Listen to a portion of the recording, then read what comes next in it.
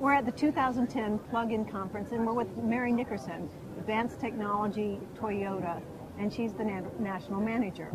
Mary, tell us about all of the vehicles that you have coming out in the next five years.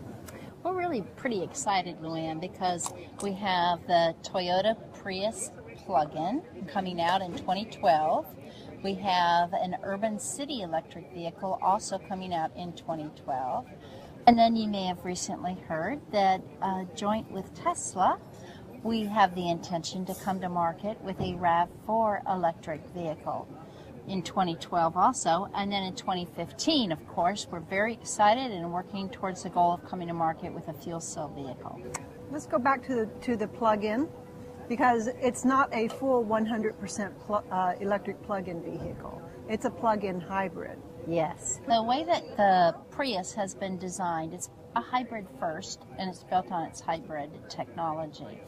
Then the lithium ion batteries have been added to it to give it an electric range to meet most people's daily driving. Um, for me, uh, I've been driving a plug in for about six weeks, and I can basically go about 85% on all electric mode.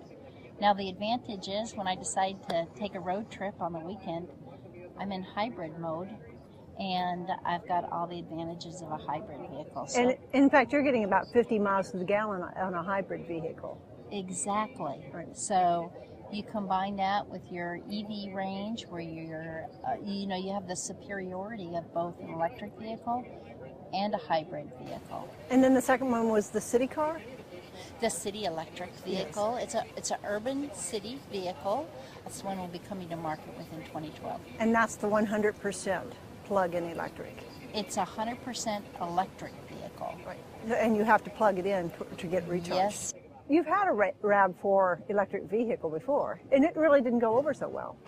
No, it didn't. Uh, the RAV4 EV, while there was lots of interest, very few people actually purchased or leased. And that was when the lease price was exactly the same as a Prius.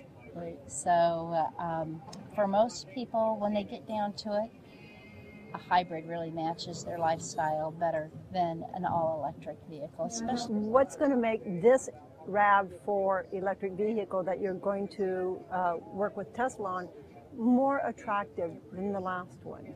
Well, uh, of course, battery technology has come a long way since 2002. Uh, and so I think we'll see lithium ion batteries versus nickel metal hydride in this RAV4. It'll be on the um, on the electric train system, drivetrain system of uh, Tesla. So it's going to be a different setup. So we'll look forward to finding out um, when we get the prototypes towards the end of this year to seeing what kind of range that vehicle will have versus what we had in 2002.